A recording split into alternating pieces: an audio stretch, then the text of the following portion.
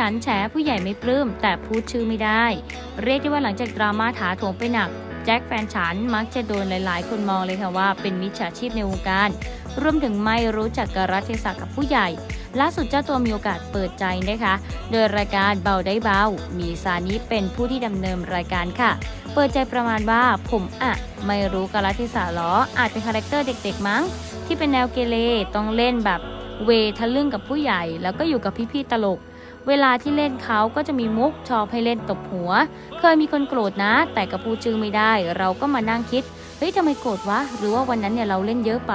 โอเค ตอบกับตัวเองก็ แค่แบบว่าไม่ไปเล่นกับเขาอีก ก่อนหน้านี้เรียกได้ว่าอยู่ในวงการบันเทิงมาเป็นระยะเวลานานสำหรับหม่ำ จ๊กมกตลกซูเปอร์สตาร์ของประเทศไทย ที่เชื่อว่าเดินไปไหนมาไหนใครก็ต้องรู้จัก ใบหน้าที่เป็นเอกลักษณ์ โดยทางด้านของคุณหม่ำจกมกเอง หลายคนเองคงจะทราบดีค่ะ เขายกมือไหว้โวยประกาศขอแยกทางกับแจ็คแฟนฉัน พร้อมเผยสาเหตุที่เป็นต้นตอของเรื่องดังกล่าวด้วย โดยในคลิปเองหม่ำกล่าวว่าวันนี้จะพูดเรื่องพักพวกพี่น้องเพื่อนฝูง มันเนี่ยรักทุกคนแหละ แต่วันนี้มันต้องบอกว่าไม่ใช่ไม่รักนะ ก็รักเหมือนเดิม แต่อยากจะพูด อยากจะแยกทางกับนักแสดงรุ่นน้องคนนี้ ไอ้แจ็คแฟนฉัน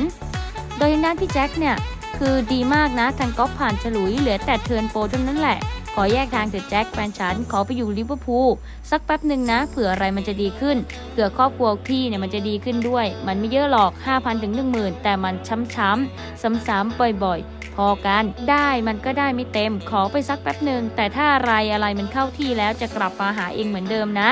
นี่ก็เป็นอีกหนึ่งเรื่องราวที่ตลกรุ่นพี่เนี่ยเขาแซวรุ่นน้องเป็นอะไรที่น่ารักจริงๆล่ะค่ะ